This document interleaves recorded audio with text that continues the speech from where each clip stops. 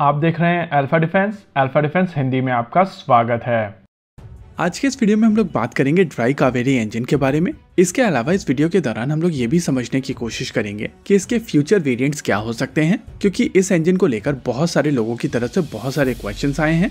दो दिन पहले सोशल मीडिया के ऊपर एक न्यूज़ चल रही थी कि Indian private sector company Godrej की तरफ़ से ड्राई कावेरी इंजन भारतीय वायुसेना के लिए बनाया जाएगा।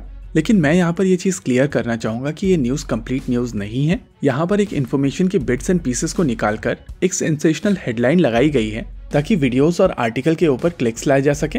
देखिए, इस चीज़ को डिटेल में समझने से पहले आइए पहले समझ लेते हैं कि बेसिकली ट्राई कावेरी इंजन का इस समय स्टेटस क्या है और इसकी प्रैक्टिकल एप्लीकेशन कहाँ पर होने वाली है।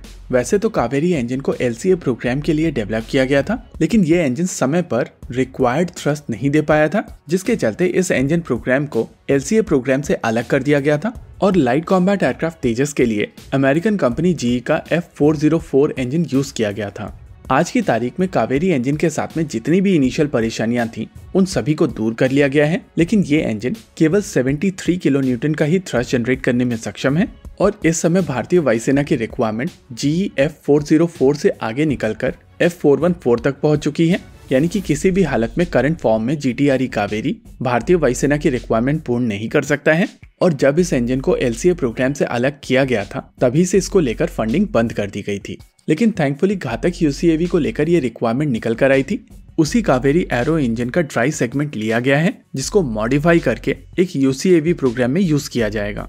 इस इंजन का ड्राई सेगमेंट पूरी टेस्टिंग दोबारा करेगा, क्योंकि इसमें यूसीएवी के हिसाब से कुछ मॉडिफिकेशन की गई हैं, और इसी सीरीज़ टेस्टिंग के लिए इस इंजन को हाई एल्टीट्यूड टेस्ट ट्रायल्स के लिए रशिया ले जाया गया था, जहाँ पर इसने अपनी टेस्टिंग कंप्लीट करके डिजायर्ड स्पेसिफिकेशन से ज़्यादा बेहतर परफॉर्मेंस दी है। नॉर्मली हाई एल्टीट्यूड टेस्टिंग के बाद में वापस से कुछ ग्राउंड टेस्टिंग की जाती है और उसी ग्राउंड टेस्टिंग के लिए इस समय प्रोटोटाइप इंजन बनाए जा रहे हैं। इन प्रोटोटाइप इंजन के लिए कुछ पार्ट्स गोदरेज की तरफ़ से बनाए जाएँगे, जिसको लेकर कुछ समय पहले ही उनको टेक्नोलॉजी ट्रांसफ़र की गई थी और रिसेंटली हम लोगों ने देखा था कि गोदरेज की तरफ़ से अपनी फैसिलिटी भी लॉन्च की गई थी, जिसको थेसी थॉमस मैडम की तरफ़ से इनोग्रेट किया गया था। ये चीज़ इंडिकेट करती है कि भारत सरकार की तरफ़ से डीआरडीओ की टेक्नोलॉजी इन प्राइवेट सेक्टर कंपनीज़ को पास ऑन की जा रही है जिससे देश में डिफेंस मैन्युफैक्चरिंग का इकोसिस्टम बेहतर बनेगा। जीटीआरई की तरफ़ से जो इंजन बनाए जाएँगे, उनकी कुछ ग्राउंड टेस्टिंग भारत में की जाएगी और भारत में इस टेस्टिंग के बाद में इन इंजन को रशिया दोबारा ले जाया जाएगा, जहाँ पर इन इंजन को फ्लाइंग टेस्ट बेड के साथ में इंटीग्रेट किया जाएगा और इनके फ़्लाइट ट्रायल्स किए जाएँगे। एक बार ये इंजन वहाँ पर सर्टिफाई हो जाएँगे, उसके बाद इनको भारत लाया जाएगा और एक्चुअल घातक यूसीएवी के साथ में इनको इंटीग्रेट किया जाएगा। बहुत सारे लोगों की तरफ़ से पूछा जा रहा है कि क्या इन इंजन की टेस्टिंग कंप्लीट होने के बाद में इनमें रिक्वायरमेंट के हिसाब से आफ्टर बर्नर लगाकर फाइटर जेट रिक्वायरमेंट को पूर्ण किया जा सकेगा।